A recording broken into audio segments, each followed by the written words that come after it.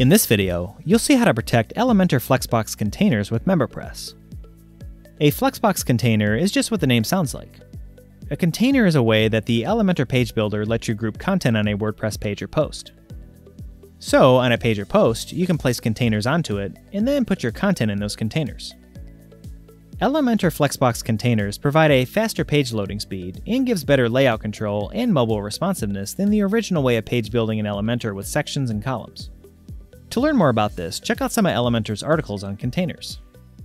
And with Elementor Flexbox container support for MemberPress, you can protect individual containers with MemberPress rules, so only people that you choose can see the content inside of containers. So you can protect specific content right on pages, and mix it with content available to all site visitors, like this article for example. The first two paragraphs are viewable by everyone, and then the rest of the article is protected, aka paywalled, to only site members. You can paywall just about anything. All or parts of articles, chapters in a short story, videos, images, and more. You just put your content inside of a container in Elementor and then apply a MemberPress rule to it. Before you get started, you'll need the MemberPress plugin installed on your WordPress site. You'll also need the Elementor plugin installed. Additionally, you'll need the MemberPress Elementor add-on installed too, which can be found on the add-ons page in the MemberPress plugin. For this video, I'm going to be using the free version of the Elementor plugin, but they do have paid plans as well. So to see how this works, from the WordPress dashboard, first you need to make a change in the Elementor settings. So here on the left sidebar, I'll go to Elementor and Settings, and then the Features tab. Then find Flexbox Container and switch it to Active, and then save the change. Now I'm going to make a new post to test this out. So I'll go to Post here on the left sidebar and click to create a new post. So I want this post to be an article. And then here in a text editor, I have a sample article that ChatGPT wrote for me. So I want this part of the article, the first two paragraphs, to be readable by any site visitor, and then the rest of the article to only be viewable if somebody has a membership. So next, I'll click Edit in Elementor on the post. And then here's the edit view in Elementor. Here on the left, under Layout, I'll grab this container and then drag it onto my post. Now I'll drag my content into the container. Now I'm only going to give a basic overview of using containers in this video, but there are a lot more settings with styling, layout, and more that pertain to containers. So on your site, you can really customize how your containers look and act, especially when it comes to mobile responsiveness. But again, this is just a very basic example. So first I'll add a heading to my container. And then I'll give the article a title. Next, I'll add an image. And select an image for the article.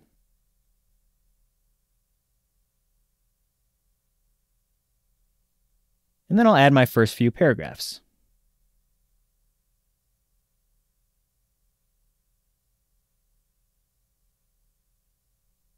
So these paragraphs and the image and the title will be visible to all site visitors. And now I want the rest of my article to be protected or paywalled. So I'll add a new container. And then in this container, I'll paste the rest of my article.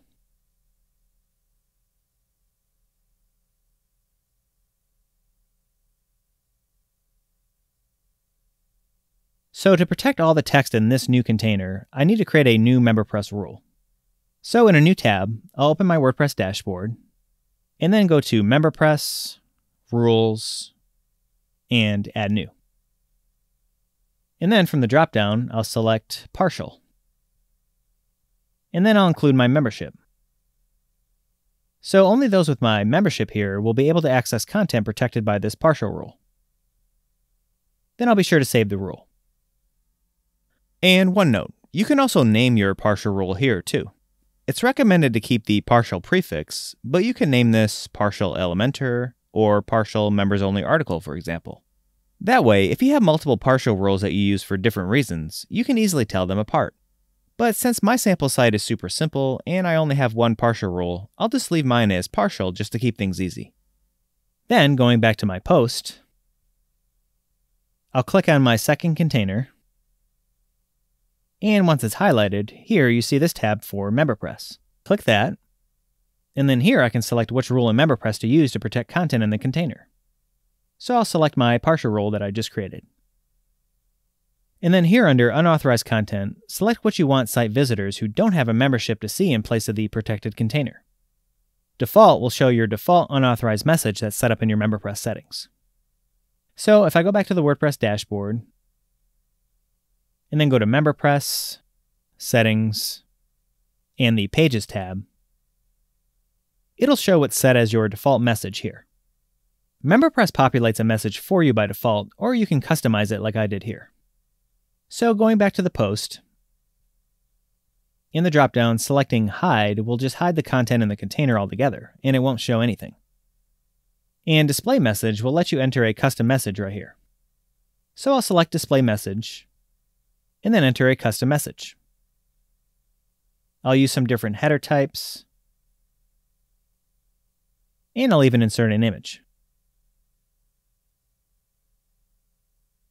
And then I'll switch over to text and then enter some HTML for a button to sign up. And I added a little CSS styling to the button here too. And then I could highlight the button HTML and click link. And then I see my membership here that I can link to. If you have an Elementor Pro plan, you can also enter custom CSS here in the Advanced tab, which is a much better option than what I did here. But I entered CSS kind of inline HTML this way just to demonstrate really quick and because I'm on the free version. So next I want to display my MemberPress login form underneath all this. So in a new tab, I'll go to the MemberPress knowledge base page for available shortcodes. And then I'll find the login shortcode, copy it, and then go back to the post and paste it here. Now again, working with HTML here is a bit of an advanced feature, but I just want to give you a small preview of what's possible. You can definitely just stick to the visual tab here, and then enter a custom message and link to your registration or signup pages here too. So your message can be much simpler than mine here. Or again, you can just use the default setting here to use your default message set in your MemberPress settings. Okay, so now when I'm done, I'll click here to save the post. And then in a new tab, I'll go back to Posts, and then I'll click to view my post in a new incognito window, so I'm not logged in as my site's admin user. So it's like I'm viewing the post as a brand new site visitor. So here you can see the first two paragraphs, and then instead of the rest of the article, you can see that unauthorized message that I set up on the post in Elementor. And the sign up button here goes to my membership registration page. I'll log in with a testing account that I have on my site that has a membership. And then once I'm logged in as a test user, going back to the post, I can see the entire article now. You've now seen how to protect Flexbox containers in Elementor using MemberPress. See our knowledge base for more information on using the Elementor page builder with MemberPress. Thanks for watching. If you liked the video, be sure to like, subscribe, and check out our other videos that makes getting MemberPress up and running a breeze.